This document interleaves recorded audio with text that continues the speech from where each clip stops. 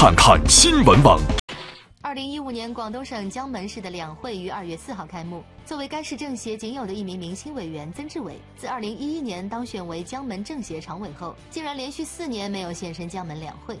哎呀，这个我自己也觉得很不好意思，因为非常抱歉，因为这四年来刚好呃这个江门的政协跟这个我广州的政协是同时间开的会，所以呢两边都去。原来是有误会，但长期这样下去显然也不是事儿呀。志伟大哥，那你准备怎么办呢？